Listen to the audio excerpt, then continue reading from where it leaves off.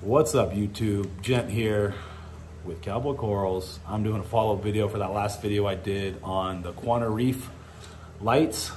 These guys right here, I don't know if you guys uh, saw that previous video. If not, go back and watch it, kind of go over the construction of it. I, right now, I'm just doing a video over par that I'm getting in this tank. It's a six foot tank by three feet wide. Um, and it's about 11 inches off the water surface, 14 inches to the bottom. I'll show you some par ratings here in just a second. Um, but the ones that I got on here, I just have three four foot uh, strips on there. Um, they are the Meso Blues, two Meso Blues on the outside and then one OG Pop. To be honest, this color is pretty damn cool. I don't know if anyone remembers, this might date me, if anyone remembers the old school VHO bulbs, those actinic bulbs that you used to buy, those giant T8s. Oh, yeah, it definitely dates me. But there's a certain spectrum that you just couldn't get with normal actinics. It has a little more um, actinic with kind of a little purple to it. Uh, those old VHO bulbs, I loved them. This spectrum here, off these two Meso Blues and then one OG Pop, very reminiscent of that. Um, it looks great under corals that fluoresce. It looks great uh, for nighttime viewing. I don't have any other lights on that, just the strips, um, so I can get par readings off of that. Certain things it doesn't look good for, pink bird nest, fish, certain things like that where they've it's a colorful coral, but it's not a fluorescent coral. It's not gonna show up under these spectrums. But to be honest, most of my tanks, I have XR30s, Kessils, which I love the best. Um, but yeah, with supplemental lighting, if I was to do maybe two of these bulbs or just one Meso Blue or two Meso Blues or one Meso Blue and one of those um, uh, OG pops and get that kind of VHO supplemental, it's crazy ridiculous. I love this color. Uh, so let's get some par readings here. Um, again, it's 11 inches top to bottom. And let me grab a par meter here. So they're all running 100% intensity, three of them, and they're four feet long. So I'm missing about a foot on either end.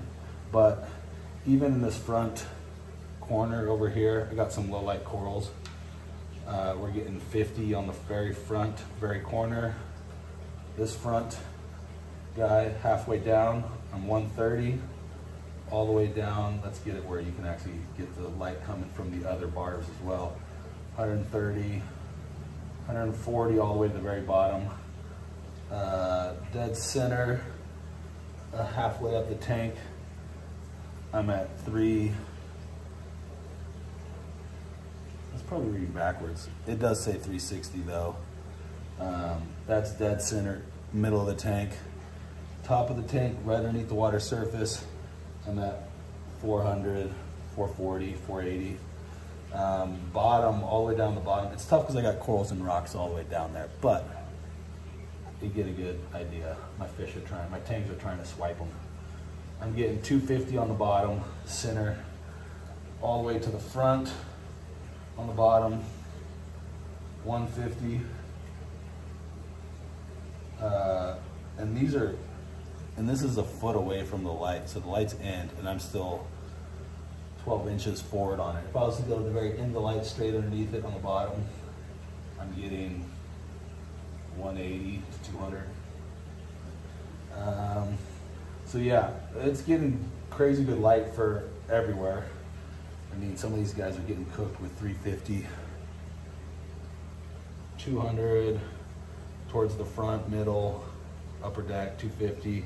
So about 250 all in the mid range, all throughout the tank. And then if you're going right under it, it gets up to 300, 350. And again, right under, we're getting like 400 under the water surface. And if you have your system set up, you can get away with a six foot tank with these four foots. If you got really low light corals.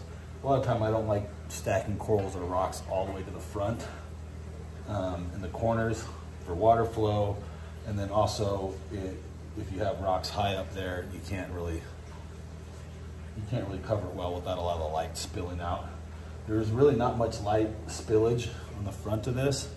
Um, they're mounted, I'll show you guys here.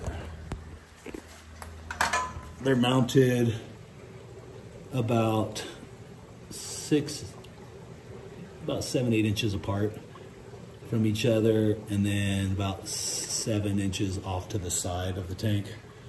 Um, here, I'll grab, I'll grab a lens here and show you what it looks like. Try it with a with a coral lens. So this is what it looks like. I put a one of those orange filters on. I think mine's an ice cap. I'm using both those lenses, but this looks pretty damn spot on to um, what I'm seeing, the color wise. Um, it looks just like those VHO bulbs, those old VHO.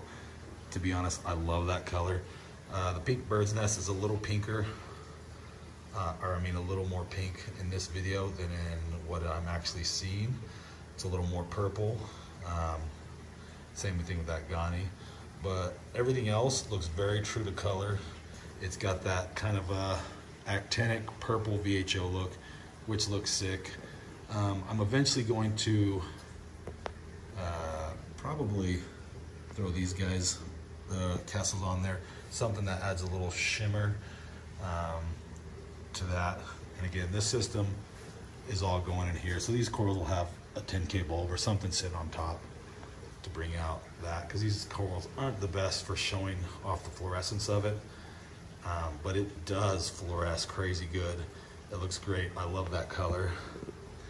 And yeah, I will probably leave this ReefBrite on until I can buy some uh, some things to change the intensity, lower the intensity. Otherwise, these things put out, these Quanta Pros put out so much damn par. I would cook these corals. This is kind of my lower light tank. So a lot of the, the shrooms, the mushrooms, and other stuff will just get cooked. Um, but yeah, there's some new frags I got in, and it's ridiculous. Uh, but yeah, these guys, my acro tank for sure is gonna get those, the Meso Blue, the OG Pop, or just maybe two of those Meso Blues on there. And then, um, but yeah, because I can really crank it. I think I'm at 400 to 600 par in the center here, and about 250 on the edges down the bottom. And changing out those two ReefBrites to those is gonna make a big difference. It's really gonna crank up the par and these guys will love it. As long as you got a lot of nutrients in the tank and decent flow, you can crank up the par. You just, need, you just can't, can't overdo it. Um, that one's just running the XR30s, just my anemone tank, and it doesn't look good. I just had moved all these anemones recently, and they all got faded. There's a Colorado sunburst right there, and they're finally getting their color back. But back to why we're here. I mean, that that Pectinia, that Space Invaders, that just that looks exactly in real life. It actually is more vibrant than this video is doing justice. Most everything looks a little more vibrant than what I'm actually seeing on this camera. Um, that's how good it looks. Those look more like kind of pinkish color. I think some of the light, ambient light's changing the look of it. But I'm loving this. I'm loving this spectrum. And man, these things put out a ton of light.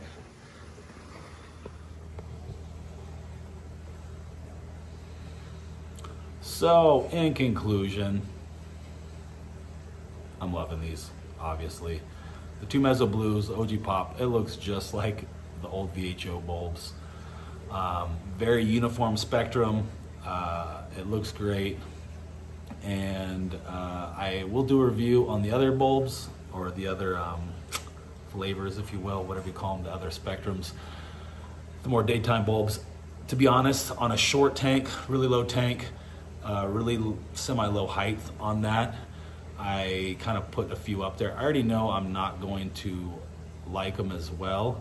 Um, just because when you got a single point light source of different spectrum, um, especially you have whites or reds, you'll actually notice kind of a disco ball effect.